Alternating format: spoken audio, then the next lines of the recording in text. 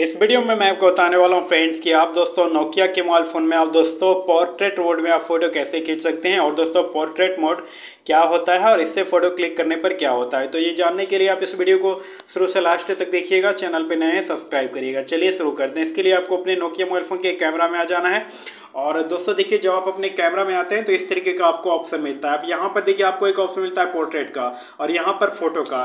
तो दोस्तों इसमें इस तो दोस्तों इसमें दोस्तों देखिए, मैं आपको बता देता हूँ कि जब आप फ़ोटो पर सिलेक्ट करके फ़ोटो खींचेंगे तो क्या होगा? और अगर आप, और अगर आप पोर्ट्रेट पर सिलेक्ट करके पोर्ट्रेट मोड में फ़ोटो खींचेंगे तो क्या होगा? तो अभी आप देख सकते हैं ये फ़ोटो को मैंने सेलेक्ट कर रखा है। अब अब चलिए हम यहाँ पर एक फ़ोटो खींचते हैं। और और देखिए दोस्तों, मैं इसे ओपन कर देता हूँ। तो दोस्तों, जैसा कि अभी दोस्तों आप यहाँ पर देख सकते हैं, ये दोस्तों जो है नॉर्मल फ़ोटो है मतलब कि दोस्तों, ये फ़ोटो जो है नॉर्मल मोड में खींचा हुआ है। तो दोस्तों, जब आप नॉर्मल मोड में, यानी कि नॉर्मल फ़ोटो खींचते हैं तो उसमें दोस्तों क्या होता है कि दोस्तों, आप दोस्तों जिस ऑब्जेक्ट का फ़ोटो खींच रहे हैं मतलब आप जिस भी व्यक्ति या फिर जिस भी वस्तु या फिर दोस्तों जिस भी चीज़ का फ़ोटो खींच रहे हैं तो दोस्तों, आप जिस ऑब्जेक्ट पर आपने अपने कैमरा का फोकस किया हुआ है, उसे फ़ोटो खींचने के लिए।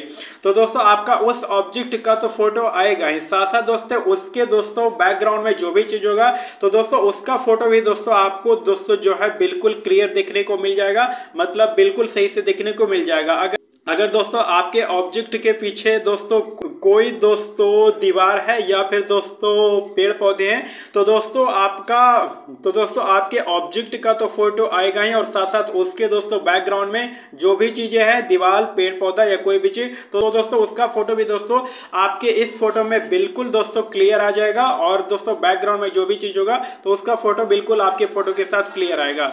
जबकि दोस्तों देखिए, अगर आप पोर्ट्रेट मोड में फ़ोटो खींचते हैं तो क्या होता है? तो चलिए मैं यहाँ पर सबसे पहले पोर्ट्रेट को सिलेक्ट कर देते हैं। तो आप देख सकते हैं मैंने पोर्ट्रेट को सिलेक्ट कर दिया। अब दोस्तों देखिए हम फ़ोटो खींचते हैं। तो दोस्तों देखिए पोर्ट्रेट मोड में फ़ोटो खींचने पर दोस्तों क्या होता है कि दोस्तों आपके फ़ोटो के दोस्तों बैकग्राउंड में जो चीज़ है, वो दोस्तों सही से दोस्तों नहीं दिख पाएगा, वो दोस्तों जो है हल्का सा दोस्तों ब्लर हो जाएगा। लेकिन आपने जिस ऑब्जेक्ट का फ़ोटो खींचा है, जिस भी व्यक्ति वस्तु का तो दोस्तों उसका फ़ोटो जो है आपको दोस्तों क्लियर आपको दोस्तों क्लियर शो करेगा। मतलब आपको उसका फ़ोटो क्लियर दोस्तों दिखेगा, लेकिन उसके दोस्तों बैकग्राउंड में जी बैकग्राउंड में जो चीज़ रहेगा, वो दोस्तों जो है थोड़ा सा दोस्तों ब्लर हो जाएगा। तो दोस्तों, अगर आपको पोर्ट्रेट मोड में फ़ोटो खींचना है तो यहाँ पोर्ट्रेट पर सेलेक्ट करके फिर आपको फ़ोटो को खींच लेना है तो ये फ़ोटो पोर्ट्रेट मोड में आ जाएगा। और आपने जिस ऑब्जेक्ट का फ़ोटो क्लिक किया है, वो ऑब्जेक्ट का फ़ोटो क्लियर आएगा जाएगा लेकिन उसके बैकग्राउंड में जो होगा, उसका वो दोस्तों थोड़ा ब्लर हो जाएगा। फ़िलहाल दोस्तों, यहाँ पर ऐसा कुछ भी शो दोस्तों नहीं कर रहा है, क्योंकि ये फ़ोटो मैं दोस्तों किसी कमरे के अंदर खींच रहा हूँ। जबकि अगर आप दोस्तों किसी बाहरी एरिया में जाकर फ़ोटो क्लिक करेंगे तो ये इफ़ेक्ट आपको देखने को मिल जाएगा कि दोस्तों पोर्ट्रेट मोड में फ़ोटो खींचने पर आपके मेन ऑब्जेक्ट का फ़ोटो तो क्लियर आएगा लेकिन जो बैकग्राउंड में होगा तो वो दोस्तों तो दोस्तों वो जो है बैकग्राउंड वाला चीज़ें आपको दोस्तों आ, आपको दोस्तों ब्लर हुआ नज़र आएगा। इस तरीके से आप पोर्ट्रेट मोड में फ़ोटो क्लिक कर सकते हैं नोकिया के मोबाइल में। वीडियो पसंद आया लाइक करिएगा चैनल पर नए सब्सक्राइब करिएगा।